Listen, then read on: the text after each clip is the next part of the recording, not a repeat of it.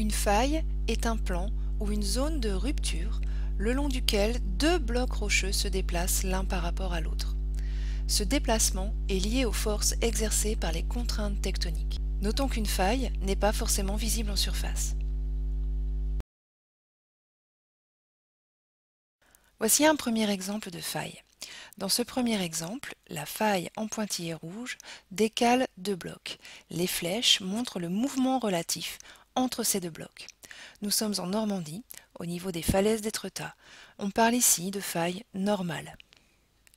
Nous sommes ici dans les Alpes. La faille est toujours représentée par un pointillé rouge. Le mouvement, cette fois, est différent. On parle de faille inverse, avec un bloc qui semble remonter sur un autre. Nous voici en Californie.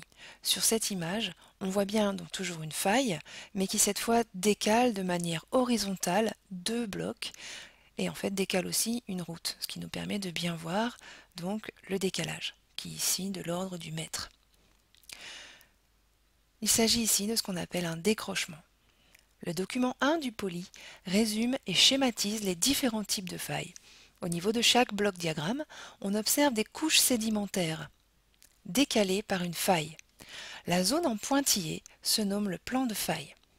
Rappelons un des principes de la géologie concernant les couches de roches sédimentaires. Dans une série non perturbée, une couche située au-dessus d'une autre est la plus récente des deux. Afin de mieux visualiser les failles, je vous invite à aller sur le site biologieenflash.net. Dans l'onglet Géologie, dynamique interne, vous trouverez des animations, et notamment une animation qui se nomme Faille.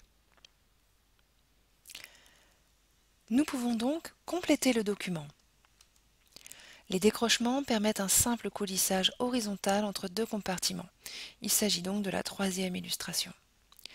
Les failles inverses correspondent à un raccourcissement horizontal des couches avec une inversion dans la succession de l'ordre de celle-ci. Il s'agit du deuxième bloc diagramme.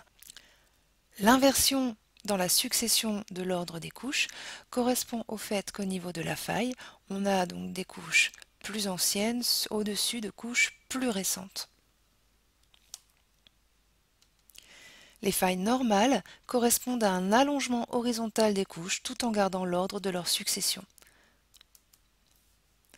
Ici, au niveau du plan de faille, on a toujours quelque chose de plus récent positionné sur du plus ancien.